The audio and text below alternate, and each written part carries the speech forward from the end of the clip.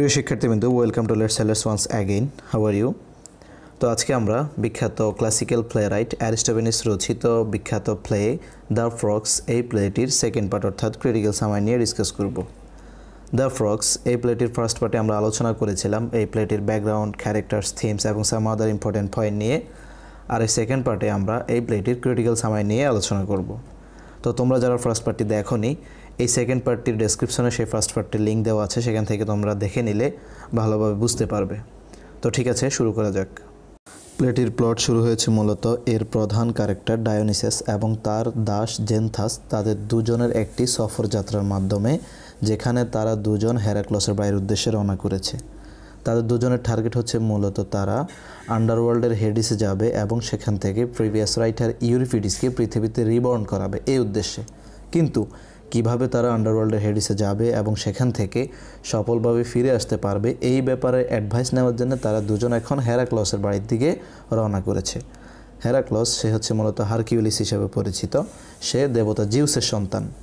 কিছুদিন পূর্বে এই হেরাক্লস আন্ডারওয়ার্ল্ডের হেডিসে গিয়েছে এবং সেখান থেকে সফলভাবে ফিরে আসতে সক্ষম হয়েছে। সাধারণত যারা আন্ডারওয়ার্ল্ডের হেডিসে যায়, সেখান থেকে খুব কম মানুষই সফলভাবে ফিরে আসতে পারে। আর যেহেতু হ্যারাক্লোস সেখান থেকে সফলভাবে ফিরে আসতে সক্ষম হয়েছে, তার কারণে হ্যারাক্লোসের বাইরের উদ্দেশ্যে তারা দুজন রওনা করেছে যে, কিছু অ্যাডভাইস নেওয়ার জন্য যে, কীভাবে যাবে এবং সেখান থেকে সফলভাবে ফিরে আসতে পারবে। যাওয়ার সময় ডায়োনিসাস, সে হেরাক্লেসের মতোই পোশাক পরিধান করে রওনা করেছিল, যেটি ছিল সিংহের চামড়া দ্বারা তৈরি একটি পোশাক এবং তার হাতে একটি লাঠি ছিল। অর্থাৎ ডায়োনিসাস সেম সেম হেরাক্লসের মতো পোশাক পরিধান করে তার বাড়ির উদ্দেশ্যে রওনা করেছে এবং তার সাথে রয়েছে তার দাস জেনথাস। সে একটি বড় বোঝাই কাঁধে নিয়ে একটি ডানকির পিঠে করে তারা রওনা করেছে। এবং তারা দুজন যাওয়ার সময় পথে মধ্যে কিছু ছোট ছোট গল্প বলছিল এবং অ্যাটলিস্ট তারা হেরাক্লোসের বাড়িতে গিয়ে পৌঁছেছে। যখন হেরাক্লসের বাড়িতে গিয়ে পৌঁছেছে তখন হেরাক্লস ডায়োনিসাসকে দেখে খুব ঠাট্টা মস্কারা করল এবং হাসতে লাগল। কেন হাসতে লাগল? কারণ হেরাক্লস দেখতে পেল যে ডায়োনিসাস ঠিক হেরাক্লসের মতোই পোশাক পরিধান করে তার বাড়িতে এসেছে। এটা দেখে সে অনেক হাসতে লাগল। তখন ডায়োনিসাস সে হ্যারাক্লোসকে বলল যে, আমরা এসেছি মূলত কীভাবে আপনি হেডসে গিয়েছেন এবং কীভাবে সেখান থেকে সফলভাবে ফিরে আসতে সক্ষম হয়েছেন, এই ব্যাপারে আপনার কাছ থেকে অ্যাডভাইস নেব। কারণ আমরা সেই আন্ডারওয়ার্ল্ডের হেডসের উদ্দেশ্যে রওনা হব এবং সেখান থেকে ইউরিফিডিসকে পৃথিবীতে রিবন্ড করাতে যাব। এটা বলল এবং এরপর ডায়োনিসাস আবার হ্যারাক্লসকে বলল যে, আমরা কেন আপনার মতো এই পোশাক পরিধান করে এসেছি? যাই হোক সেখানে তাদের কিছু ঠাট্টা মস্করা হলো, মজা হলো। সেখান থেকে অ্যাডভাইস নিয়ে ডায়োনিসাস এবং তার দাস জেন্থাস তারা দুজনে অলরেডি আন্ডারওয়ার্ল্ডের হেডিসের উদ্দেশ্যে রওনা করল। এবং যেতে যেতে তারা আন্ডারওয়ার্ল্ডের হেডিসে যাওয়ার পূর্বে একটি রিভার পড়ে, যেটির নাম হচ্ছে স্টিক্স রিভার ওই স্টিক্স রিভারের পাড়ে গেল এবং সেখান দিয়ে তাদেরকে ফেরি পারাবার হয়ে অপর পাশে যেতে হবে।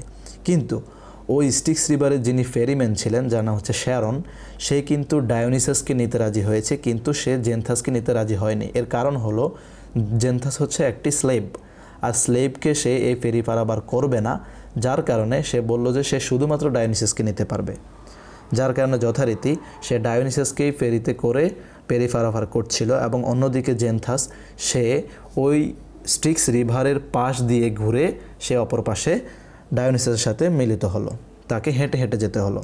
এবং যখন ডায়োনিসাস ওই শ্যারনের ফেরিতে করে স্টিক্স রিভার পার হচ্ছিল, তখন পানিতে কিছু বড় বড় ব্যাং খুব জোরে সোরে ডাকছিল, গান গাইছিল। এটা দেখে সে ওই ব্যাংকদের সাথে খুব মজা করল এবং কে বেশি করে গান গাইতে পারে, বেশি করে সাউন্ড করতে পারে, এই ব্যাপারে সে তাদের সাথে ব্যাংকদের সাথে কিছু দুষ্টামি করল। এবং হতে পারে যে এই ফ্রগসদের গান, যে ফ্রগসের কথা উল্লেখ করা হয়েছে, হতে পারে এই ফ্রগসের নামানুসারেই এই প্লেটির নামকরণ করা হয়েছে দ্য ফ্রগস যাই হোক, সেখান থেকে ডায়োনিসাস সে শ্যারনের সহায়তায় ওই স্টিক্স রিভার পার হয়ে অপর প্রান্তে গেল এবং সেখানে জেন্থাসের সাথে মিলিত হলো। জেন্থাস যে ওই হ্রদের পাল দিয়ে হেঁটে হেঁটে গিয়েছিল। তারা দুজন যখন সেখানে মিলিত হলো, মিলিত হওয়ার পর তারা দুজনে আবার ওই আন্ডারওয়ার্ল্ডের হেডিসের উদ্দেশ্যে হাঁটা শুরু করল। পথের মধ্যে তাদের সাথে একটি মনস্টারের সাথে দেখা হয়েছে এবং সেই মনস্টারের পাশ কেটে তারা হেঁটে যাচ্ছিল এবং কিছু দূরে গিয়ে যাওয়ার পর তাদের সাথে আরেক দল কোরাসের সাথে দেখা হয়েছে। তারা গান গাইতে লাগল এবং তাদের পাশ কেটেও তারা দুজনে আন্ডারওয়ার্ল্ডের হেডিসের উদ্দেশ্যে হাঁটতে লাগল। কিছু দূর হাঁটার পর তারা অলরেডি আন্ডারওয়ার্ল্ডের হেডিসের গেট পর্যন্ত গিয়ে পৌঁছল। যখন ডায়োনিসাস এবং তার দাস জেনথাস আন্ডারওয়ার্ল্ডের হেডিসের গেট পর্যন্ত পৌঁছলো, তখন যিনি গেট কিপার ছিলেন, অর্থাৎ ডোরম্যান ছিলেন, তার নাম হচ্ছে এইকাস এইকাস যখন তাদের দুজনকে দেখতে পেলেন, তখন সে তাদের দুজনের দিকে এগিয়ে আসলেন এবং তাদেরকে বকাবাদ্য শুরু করলেন এবং মারতে আসলেন। কারণ এইকাস ডায়োনিসাসকে দেখে চিনতে পারেনি যে এটা ডায়োনিসাস সে মূলত ডায়োনিসাসকে দেখে হ্যারাক্লস ভেবে মারতে এসেছে। আর এটার কারণ হলো ডায়োনিসাস মূলত হ্যারাক্লেসের মতো সেম পোশাক পরিধান করে এসেছে। যার কারণে গেটকিপার এইকাস সে এখানে ডায়োনিসাসকে চিনতে না পেরে সে এখানে হ্যারাক্লস ভেবে মারতে এসেছে। আর এখানে মারতে আসার কারণ হলো যে, কিছুদিন পূর্বে যখন হ্যারাক্লস এই আন্ডারওয়ার্ল্ডের হেডিসে এসেছে, সে এখান থেকে একটি তিন মাথাওয়ালা কুকুর নিয়ে পালিয়ে গিয়েছে, যে কুকুরটির নাম হচ্ছে সেরভেরাস কেন এই তিন মাথাওয়ালা কুকুরটি নিয়ে পালিয়ে গিয়েছিল? এই অপরাধে গেটকিপার এই এইকাস ডায়োনিসাসকে হ্যারাক্লোস ভেবে মারতে এসেছে। এমতো অবস্থায় ডায়োনিসাসদের সাথে ওই গেটকিপার এইকাসদের সাথে বাঘ বিতণ্ডটা হলো এবং বাঘ বিতণ্ডটার এক পর্যায়ে যখন ডায়োনিসাস বুঝতে পারল যে অবস্থা বেগতিক, হতে পারে সে মার খেতে পারে, তখন সে একটা ট্রিক্স করল। কি করল? সে তার স্লেভ জেনথাসকে নিয়ে আড়ালে চলে গেল, আড়ালে গিয়ে তারা দুজন এখন পোশাক পরিবর্তন করে ফেলল। অর্থাৎ এখন যেই জেনথাস রয়েছে স্লেভ সে এখন ডায়োনিসাসের পোশাক পরিহিত এবং ডায়োনিসাস, সে তার দাস জেনথাসের স্লেভ পোশাকটি পরিহিত। এবং যখন পোশাক পরিবর্তন করা সম্পন্ন হলো, তখন ওই হেডিসের একটি স্লেব সে এসে জেনথাসকে হারকিউলিস ভেবে সে দাওয়াত করল যে, আমরা এখন কিছুক্ষণ পরে একটি ভোজসভা যাব, সেখানে আমাদের নাচ হবে, গান হবে এবং আমরা এরপর ভোজসভা সম্পন্ন করব। সেখানে আপনি আমন্ত্রিত। অর্থাৎ হেডসের ওই স্লেভ যে, সে মূলত জেনথাসকে দেখে এখানে বুঝতে পারেনি যে এটা হচ্ছে জেনথাস। সে ওই পোশাক দেখেই জেন্থাসকে হারকিউলিস ভেবে সে ইনভাইট করল। আর যখন হারকিউলিস ভেবে জেন্থাসকে ইনভাইট করল, তখন জেন্থাসের যিনি গড, অর্থাৎ যিনি মনিব, তার নাম হচ্ছে কি? ডায়োনিসাস ডায়োনিসাস এটা দেখে সে তখন তার লোভ সামলাতে পারেনি, তার খুব হিংসা হলো। সে কি করল? আবার আড়ালে গিয়ে দ্বিতীয়বারের মতো সে পোশাক পরিধান, পরিবর্তন করে ফেলল। অর্থাৎ এখন আবার পুনরায় ডায়োনিসাসের গায়ে ওই হ্যারাক্লসের মতো পোশাক রয়েছে এবং তার দাস জেন্থাস তার সেই দাসের পোশাকটি আবার পরিধান করেছে। এবং এরপর কি করল? ডায়োনিসাস সে এখন ওই বোধসভায় যাওয়ার জন্য সে রেডি হতে লাগল, প্রস্তুতি নিতে লাগল। সে বোধসভায় যাবে, সেখানে নারীদের সাথে আড্ডা মাস্তি করবে এবং এরপর বোধসভা সম্পন্ন করবে। এমতো অবস্থায় ওই হেডিসের যে দুটি ইন রয়েছে, ওই দুটি ইনের দুজন ইন কিপার এসেছে। দুজন মহিলা এসেছে, যাদের কথা আমরা ক্যারেক্টার বলেছি, তার দুজন নাম হচ্ছে ইন কিপার ও প্লাথিনি তারা দুজন এসে এই ডায়োনিসাসকে দেখে হ্যারাক্লস ভেবে আবার বকাবাদ্য শুরু করল।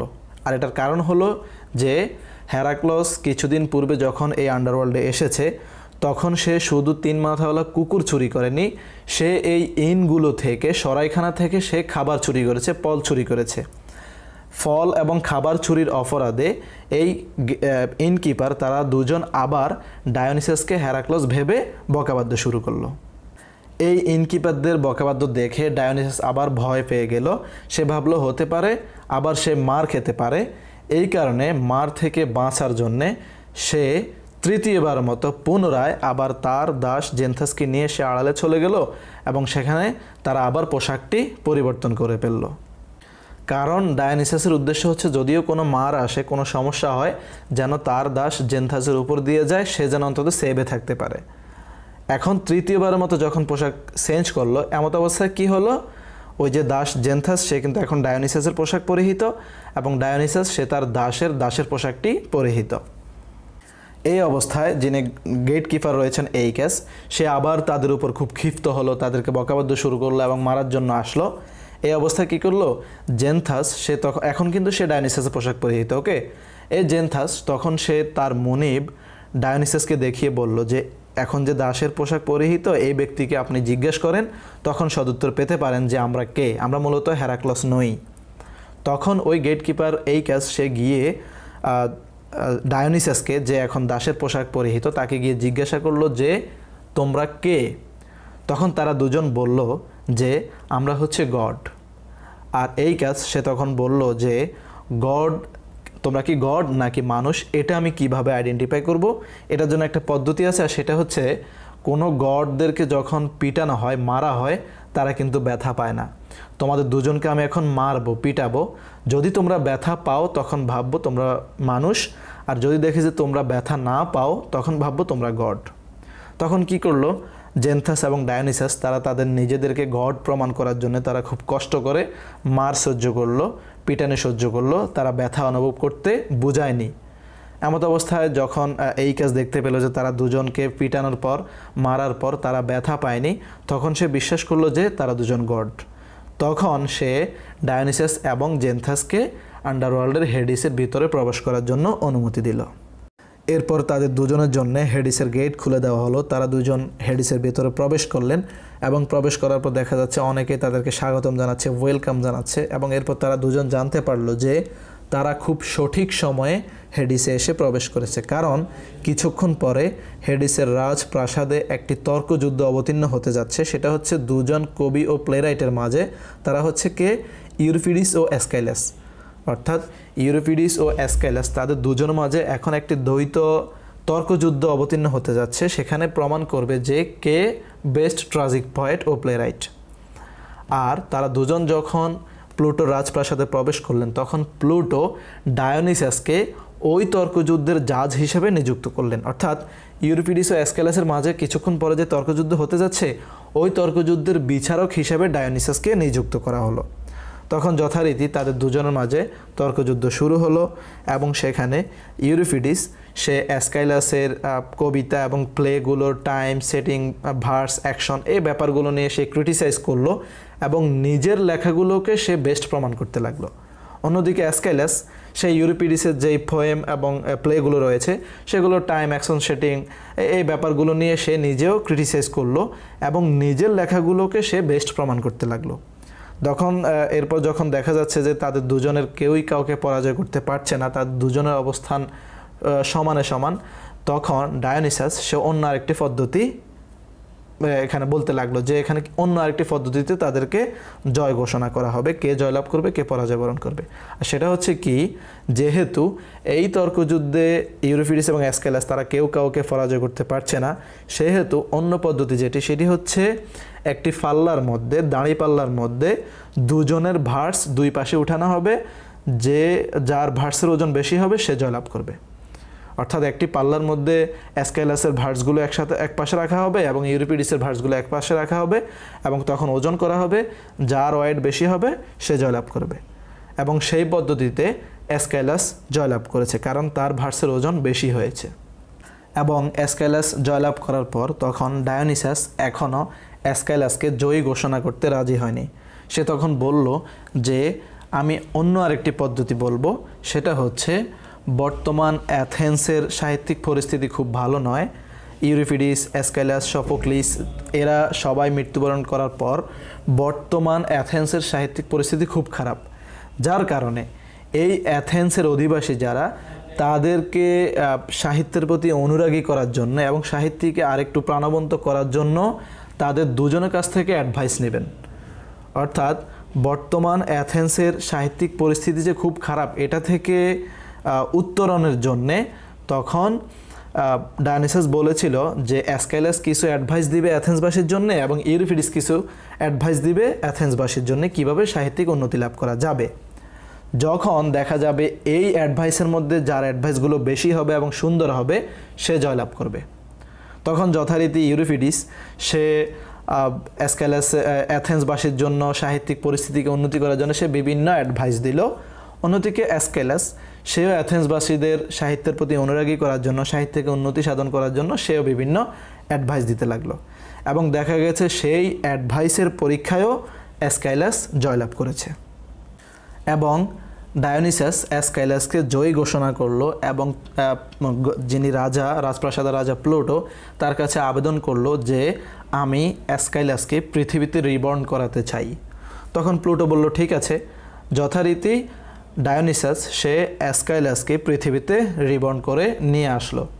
অন্যদিকে, যখন ইউরিপিডিস হেরে গেল ইউরিপিডিস হেরে যাওয়ার পর, ওই আন্ডারওয়ার্ল্ডের হেডিসের সেরা পয়েট যিনি, সেরা সাহিত্যিক যিনি, তিনি ওই সেরা সাহিত্যিক হিসাবে এখন ইউরিপিডিসকে সেট করা হয়নি। অর্থাৎ অ্যাসকাইলাসকে যখন পৃথিবীতে রিবর্ন করা হয়েছে, তখন আন্ডারওয়ার্ল্ডের ওই হেডিসের সেরা পয়েট হিসাবে, সেরা সাহিত্যিক হিসাবে ইউরিফিডিসকে না দিয়ে সপোক্লিসকে ঘোষণা করা হয়েছে। অর্থাৎ এই হ্যাডিসের বর্তমান সেরা সাহিত্যিক হিসাবে ফয়েট হিসাবে ইউরিফিডিসকে সেখানে নিযুক্ত করা হয়নি, বরং সফোক্লিসকে বর্তমান হেডসের সেরা পয়েট হিসাবে নিযুক্ত করা হয়েছে। সেখানেও ইউরিফিডিস সফোক্লিসের কাছে হেরে গেছেন। এবং এরপরই সেখান থেকে হেডিস থেকে ডায়োনিসাস সফোক্লিসকে নিয়ে পৃথিবীতে রিবন করাতে সক্ষম হয়েছে এবং সেখান থেকে নিয়ে এসেছে। আর এর মাধ্যমেই এই প্লেটির বিস্তারিত প্লট সম্পন্ন হয়েছে। আর হ্যাঁ একটি বিষয় খেয়াল রাখতে হবে, সেটা হচ্ছে আমরা এর আগেও বলেছি যে মূলত ডায়োনিসাস এবং জেনথাস তারা দুজন মূলত আন্ডারওয়ার্ল্ডের হেডিসে গিয়েছে। কী জন্যে? ইউরিফিডিসকে নিয়ে আসার জন্যে। কিন্তু অ্যাটলিস্টে ইউরিফিডিসকে আনতে সক্ষম হয়নি ইউরিফিডিসকে আনা হয়নি ইউরিফিডিসকে হেরে সফোক্লি অ্যাসকাইলাস জয়লাভ করেছে, যার কারণে অ্যাসকাইলাসকে পৃথিবীতে রিবন করাতে সক্ষম হয়েছে। এখানে একটা আইরনিক্যাল মিনিং রয়েছে, সেটা হচ্ছে কি, যদিও ইউরিফিডিসকে আনতে গিয়েছিল ইউরিফিডিসের সময়কার বা এর পূর্বে যে রাইটাররা ছিলেন অ্যাসকাইলাস এবং সফোক্লিস, তারাও কিন্তু কোনো অংশে ইউরিফিডিস থেকে কম নয়। অর্থাৎ সফোক্লিস, সফোক্লিসের পরবর্তীতে হচ্ছে অ্যাসকাইলাস, অ্যাসকাইলাসের পরবর্তীতে হচ্ছে ইউরিফিডিস। তাদের তিনজনের মধ্যে তারা সবাই সেরা।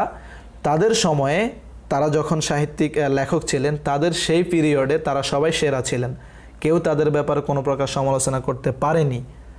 কারণ ইউরিফিডিসের বেশ সুনাম ছিল ইউরিফিডিসকে আনার জন্যে, কিন্তু সেখানে গিয়ে জাজমেন্ট করে দেখেছে শুধু ইউরিফিডিস নয়, এর চাইতেও ভালো ভালো লেখকরা এর পূর্বে মৃত্যুবরণ করেছেন।